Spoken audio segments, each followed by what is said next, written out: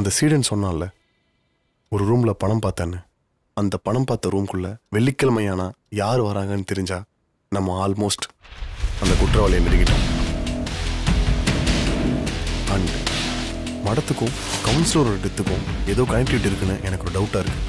So வெள்ளிக்கிழமை நம்ம சாமியார் மடத்துக்கு போனாதான் பல்லவி பார்த்துட்டு வரேன்.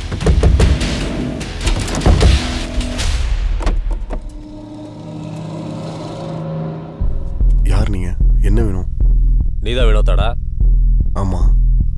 வெளியே வாடா. ஏய். ஏய் கையை ஸ்ட்ரென்த்து காட்டுறேன்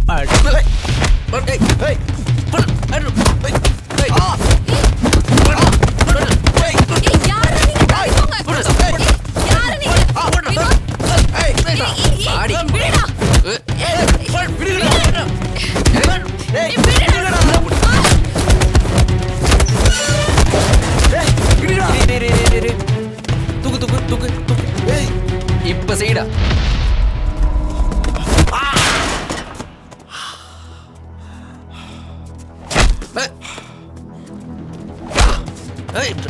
பல்லவி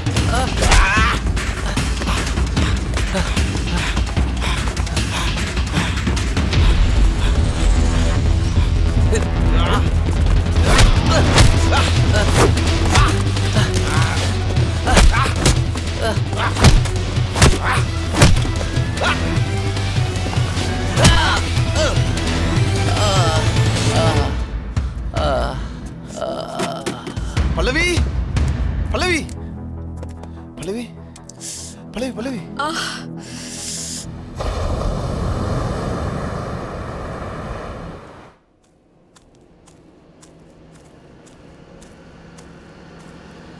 மா ரூபி வீட்டுக்கிட்ட போனேன் இங்கே இருப்பேன்னு சொன்னாங்க. அதான் வந்தம்மா. இந்தாம்மா இந்தா. இதில் ரெண்டு லட்சம் இருக்குது இதை வச்சுக்கோ. அப்பாவை வெளில எடுக்க வேண்டிய வேலையை நான் பார்த்துக்கிறேம்மா. இதை பிடிமா இதை பிடிமா நான் சொல்கிறேன்ல இதை பிடி. பணமெல்லாம் வேணாம். எனக்கு என் அப்பா தான் வேணும். இதை ஃபஸ்ட்டு கையில் வாங்குமா? வாங்குமா உங்க அப்பா கண்டிப்பாக வெளில வருவாருமா? வாங்குமா?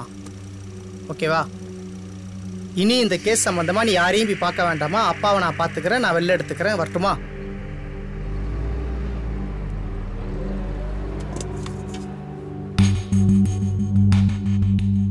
ரூபி தான் கால் பண்றா. என்னன்னு கேளு. ஹலோ வக்கீல் சரண்ராஜ் வீட்டுக்கு வந்து பணம் கொடுத்துட்டாருக்கா? நான் வேணா வேணான்னு தான் சொன்னேன். அவர் கேட்குற மாதிரி இல்லை.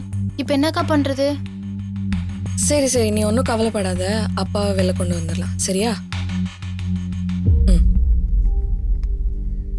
ரூபிக்கு பணம் கொடுத்துருக்காங்க.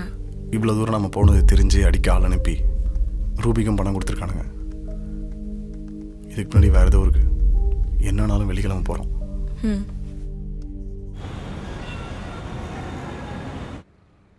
நான் தயாளன் பேசுறேன். ஹலோ. ராஜா. ஆமாம் சார். என்ன பழக்கம் இது படிச்ச பசங்க கிட்ட ம்? நீ லீகலா கொண்டு போனா நானும் லீகலா கொண்டு போவேன். சார் இல்லை சார் இல்லை சார். இதை இல்லீகலா கொண்டு போகணும்னு நினைச்ச அப்புறம் என் கேரக்டர் என்னன்னு தெரிஞ்சுப்பேன் சார் இல்லை சார். நான் எதுவுமே பண்ணல சார். லிசன் பார் கவுன்சிலர் சரண்ராஜ் என்ற பேரே இருக்காது. பார்த்து ஒழுங்கா நடத்துக்க ஐயா, போன. சார். இனிமேட்டு அந்த மாதிரி எதுவும் நடக்காது சார்.